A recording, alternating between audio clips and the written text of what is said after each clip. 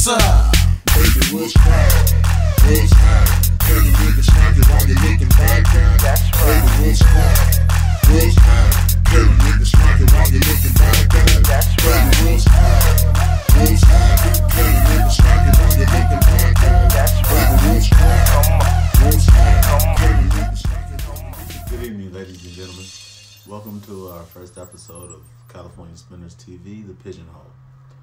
Um, today, um, we're not going to show pigeons or talk about pigeons. We're going to talk about the situation that we have in Southern California, which is the Newcastle, vir- virulent Newcastle disease epidemic. At this time, they said there's no cure for the disease, but they do have vaccines. Um, they're coming to people's houses and they're euthanizing people's birds. Yet they're not euthanizing the feral population, and this is important because in order for a disease to spread, the birds would have to be able to go wherever they would like to go in order to spread the disease, right? Well, what besides a commie can go in your yard, then jump over to the next person's yard, then go eat with the chickens, and then come back into your yard, and then go eat with the chi-chis, and go to McDonald's. The commie. But they have yet to start destroying the feral population, and this is a problem.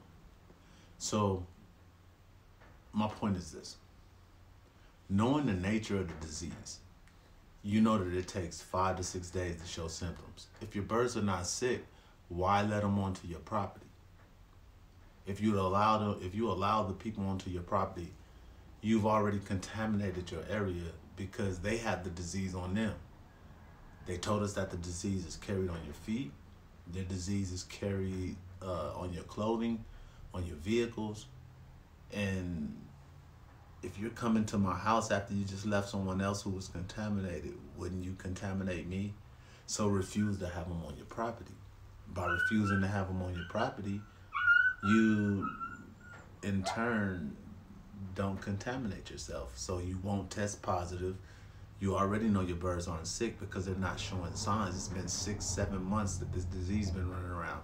You would know if your birds are sick because in six, seven months you wouldn't have any birds left. They state by their knowledge, by their logic, they state that 100% of your birds are going to die if they catch the disease. Yet you still have birds. Yet you don't have a bunch of birds dying and flopping off. So why allow them into your yard? Continue to practice safe practices like uh, using a pan of bleach water um, near the front of your cage so that you can dip your soles of your shoes into the bleach. Um, try to change clothes. Uh, if you can get a jumpsuit when you go out with your birds that you only wear with your birds, I would wear that. Um, but fellas, you have to be smarter about the disease. Listen to what they're telling you, and then use the rules of what they're telling you to combat them coming to kill your birds. There's no way that you can spend 16, 17 years cultivating pigeons to allow someone to come euthanize them for a disease that they're not euthanizing, euthanizing, euthanizing, sorry, the whole entire population for. It just doesn't happen that way. You keep your birds in a controlled environment, therefore you would know when you have an outbreak. So fellas, if you didn't call them because you have the disease, please do not allow them into your yard. You will test positive because they are positive for the disease. This is California Spinners. This is Damien. Just wanted to give you guys a little bit of information, and I'm out. Don't forget to hit the like button. Please subscribe to my channel. Thank you for viewing. All right, fellas. Here's a, a couple of my Thank breeders for the breeding season 2019. Uh, we're inside my breeder loft. Um, I cleaned it a little earlier, uh, earlier in the morning. Uh, got my breeders back in it. Some of the breeders that I'm using this year. Um, as you can see, they're starting to grab nice, getting themselves situated.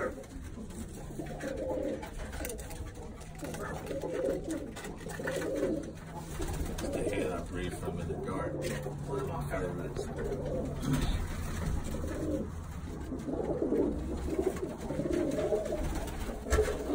It's That's my lead pair right here. Pure red blood.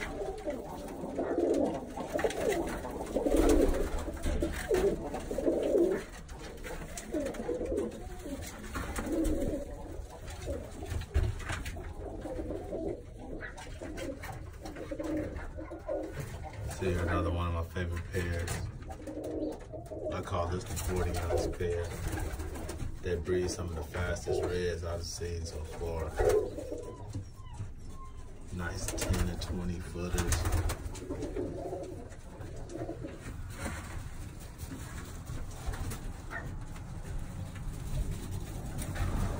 This is all three right here.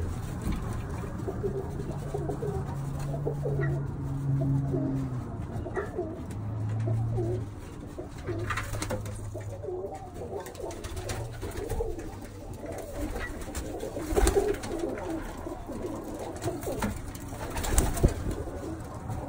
guys might not know what that is, but that's off uh, 949. This was a bird that goes back behind one. Bred him to be sensitive and stuff. That made me some excellent 35, 40 footers. We're down here. That right there. Dark hen right there. That's my checker bronze hen. I got a picture of her. She was all red when she was younger. She's an excellent spinner. She's out the Rocky Mountain blood. And across the 45 blood. Then I bred it back to red blood, which is a center tail and a gray.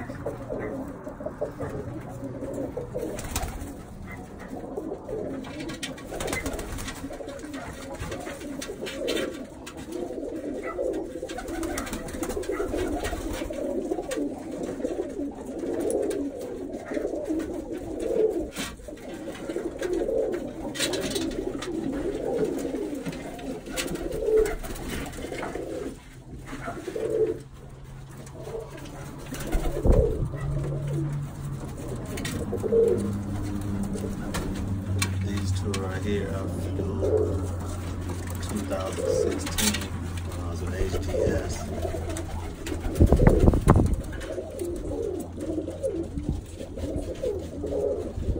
The blue check in the back was in my 50 footer team. He's part of the 50 footers. She was in my number two, team, number three team. She was like 15 feet with a footer. She got snapped by the hawk. Falcon had her. And I threw a rock at it in the field, let her go.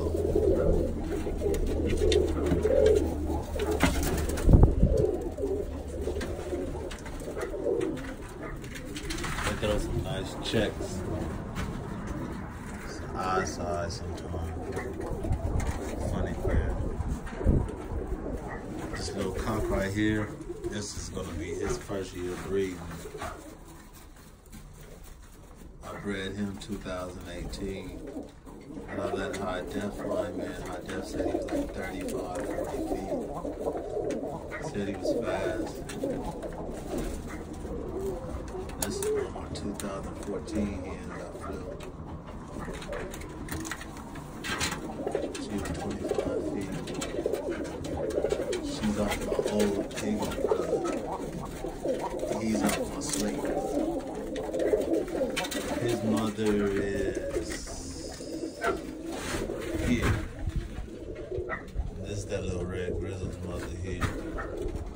And she's off the hen free from the dark. I definitely this one in too.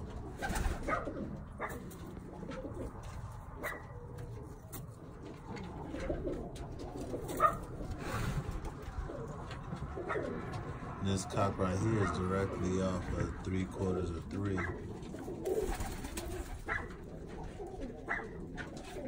think I pissed him off watching it. The camera shot.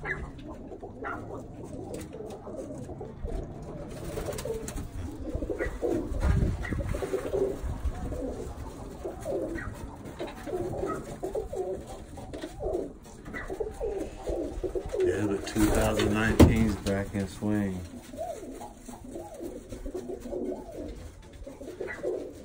One of my older hens here, it's a 2010.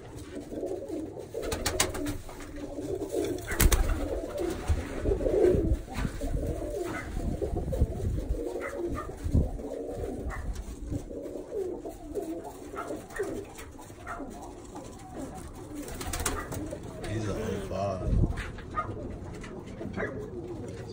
out in the individual. Had to let him do his thing.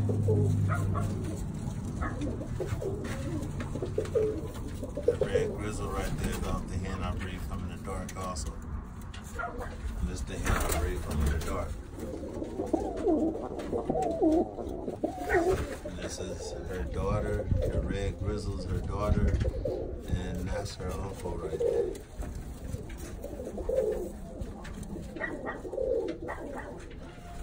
The uncle to the hen I breathe from the dark.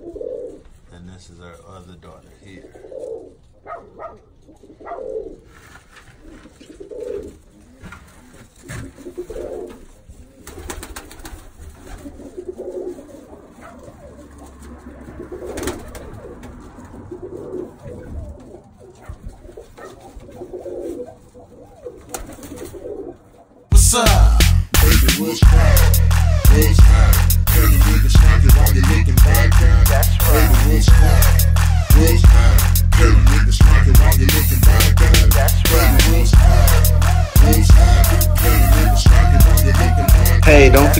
Like button and don't forget to subscribe to my channel. Thank you for liking California Spinners TV.